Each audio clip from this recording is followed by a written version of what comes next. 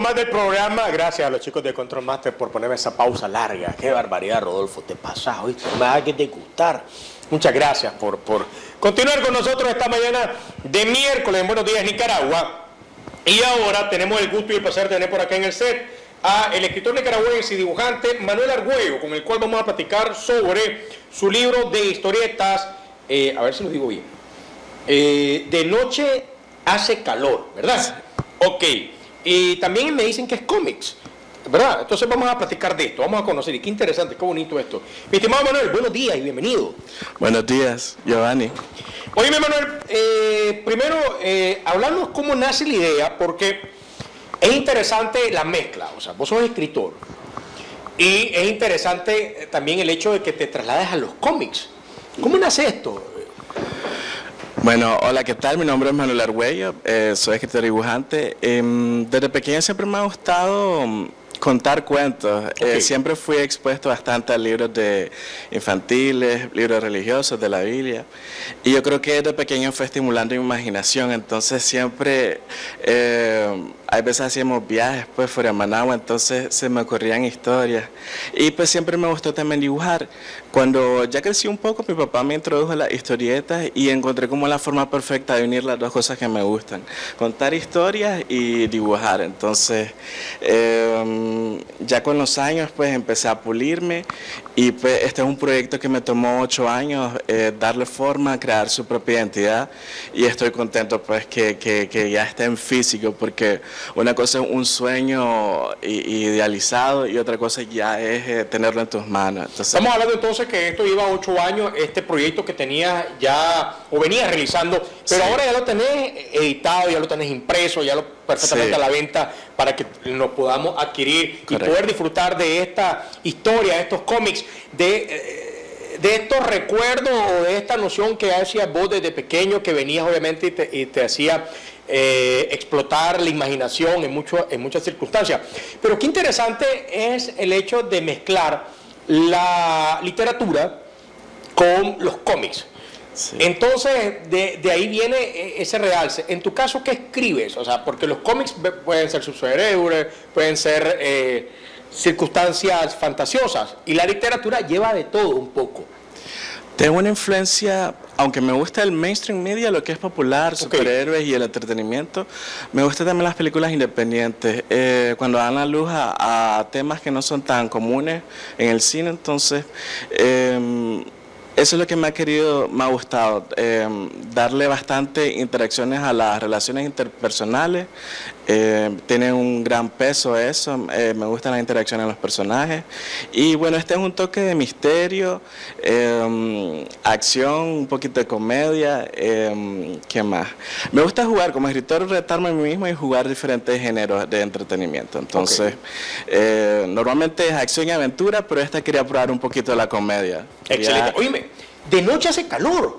Y acabas de decir misterio, aventura, algo de, cómico. Lleva todo un poco. ¿Y el título cómo nace? Bueno, como escritor uno tiene que ser un poco em, sugestivo a la gente para llamar la atención. Entonces, eh, cuando estaba en la universidad hice varias historietas para mí que las compartía con mis amigos y pues yo creo que eh, alterno, porque es paralelo tantas cosas. Siempre tuve la ganas de escribir canciones, entonces tenía mis títulos y escribía poemas, entonces algunos los eh, incorporaba en mi historieta, otros no. De Noche hace calor no tiene poema, pero no se fue de mi lista de títulos que se me vienen. Eh, uno tiene a veces una tormenta de ideas y entonces digo, este suena bien. Pero es un reflejo, originalmente era por, por tanto calor en Semana Santa, digo, eh, fue como, como un sarcasmo, como una broma, pues que, que entre mi amistad decía, esta noche no la aguanto, demasiado calor. Y después ya, ya jugué pues con los conceptos, con comedia. Eh, de Noche hace calor la historia es un bar y entonces los jóvenes van al bar que son universitarios, son detectives y entonces eh, pasan una serie de situaciones cómicas y ya después se enfrentan a la raíz de todo eso que es un, un payaso malévolo. Y pues... Eh, ¿qué estamos viendo ahí? Eh, qué interesante, nos están enseñando. ¿Qué es esto? Ok. Comentanos, por favor, lo que tenemos ahí. Esta es la historieta de Noches de Calor. Esta la presenté en junio, en este año. Y esta es una variante portada. Es la misma historieta, pero como yo soy bastante conceptualista, es bastante completo todo, entonces eh, hicimos varios artes que me encantaron, pero obviamente no, no, pueden ir todo en la historieta. Y como son dos presentaciones. son dos presentaciones. Más ¿Y esto es para adultos o para niños? Es para o sea, todo general, todo público. Es general, todo público. Em, y lo, lo, interesante es que yo escribo para mí. Y cuando voy a la expo o voy a ferias o voy a diferentes plataformas, eh, no, no, sé quién resuena, porque a veces pues, me sorprende pues a mí con quién le, le gusta, a veces muchachas, niños, mayores, eh, señoras, señores, entonces...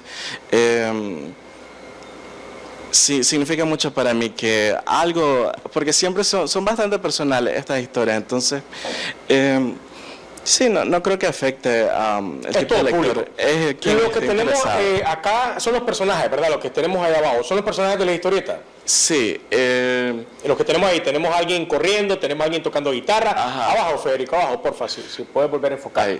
A Santa no, ¿viste? Yo sé que está Santa ahí, a Santa no. Ese es un... Ahí, los que tenemos ahí, eh, ellos son los parte de los personajes? Sí, son parte de los personajes. De hecho, el que está corriendo, ese es el payaso malévolo que había hablado de la historia. Se llama Caín. Ese es el malo de la historia. El malo de la historia. Em, ¿El, de medio? el de medio James, uno de los personajes principales, eh, que es el que te guía con la historia. Él es un detective y entonces tiene su grupo de amigos que todos tienen la misma edad y a ellos les gusta resolver misterios. ¿Y el del que está tocando la guitarra? Ese se llama Kevin y creo que por arriba anda otro. Sí, aquí tenemos otro arriba y... A ver, Federico, uno está arriba, arriba. Ajá. Eh, son amigos. No, arriba, arriba. Ahí. Ella.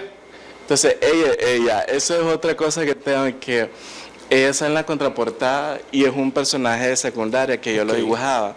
Entonces con mis compañeros de clase bromeaban, me decían, ¿quién es ella? Entonces yo decía, ella. Entonces se quedó esa broma. Se eh, llama ella. Ella, ella. ella, Oye, qué interesante. Vos puedes estar en una feria de libros o una feria de, escritores.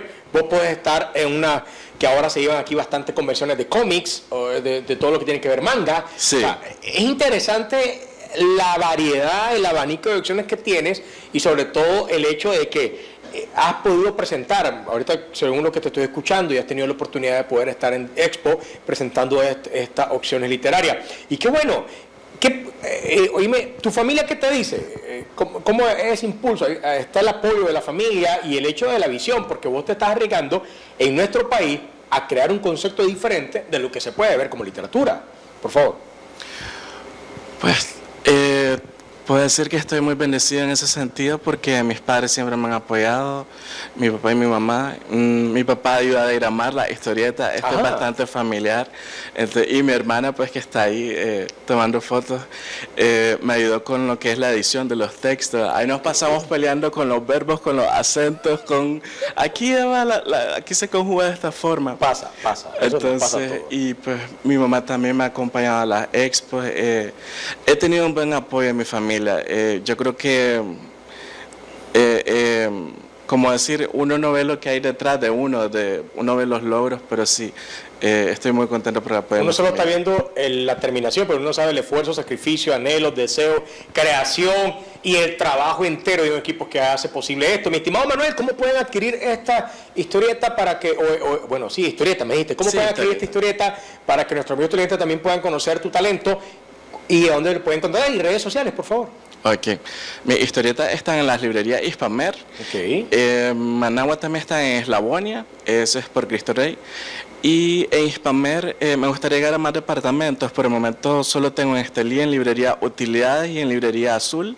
Y Hispamer lo que tiene es una opción en la página en línea de Hispamer.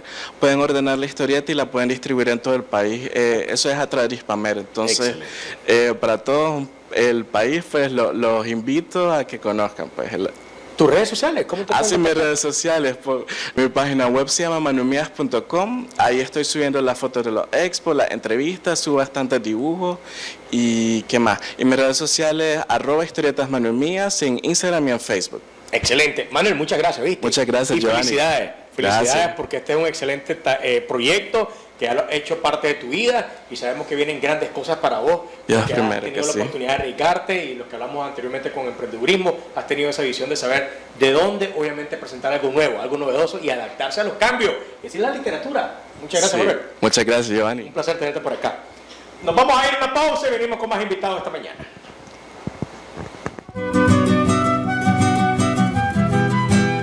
Reconocimientos, denuncias, quejas y sugerencias. Envíelas a Canal 12. Programa Buenos Días Nicaragua. Residencial Bolonia. O llámanos a los teléfonos 2266-0691, 2266-9983, 2266-9984. Escríbanos a nuestro correo electrónico canal12 arroba canal12.com.ni.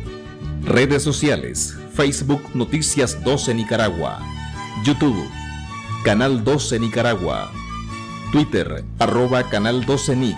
Visita nuestro sitio web www.canal12.com.ni.